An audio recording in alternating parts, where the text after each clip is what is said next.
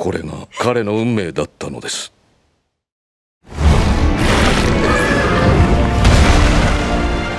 レドの力をもってしても大いなる自然を前に人の力でできることなどありはしなかった。世界の状況は日々悪化していった。そんな時守りレウスが生きていて箱呂島に戻ったと聞いたの。私は守りレウスに会いに行った。そしてあなたに出会った。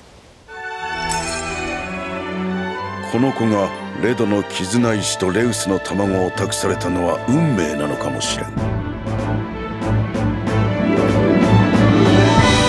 れが伝説のモンスター破滅の翼を持つレウスの姿だそのレウスが羽ばたく時世界は滅びると言われている。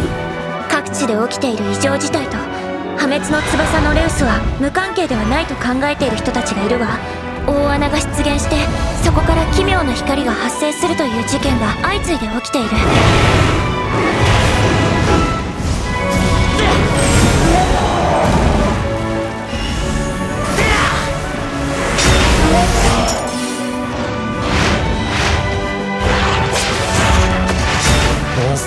絆を結ぶってどういうことだよ。なんでモンスターを操ることができる？操ってなんかいない。モンスターはライダーに力を貸してくれているだけ。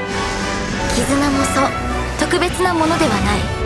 あなたと月野にも絆があるように。それと変わりはしない。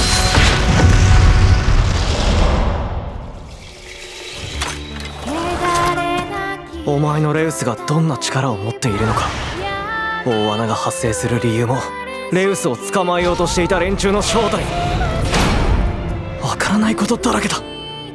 あなたが不安や迷いを感じればレウスも同じように不安を感じてしまうわ。レウスを守れるのはライダーであるあなたしかいないのよ。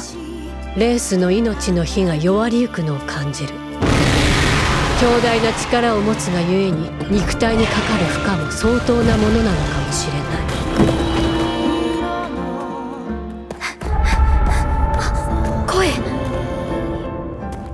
ているの。ライダーはモンスターと絆を結ぶことができる。俺たち人間同士にできないはずはないと思う。人間には絆の力がある。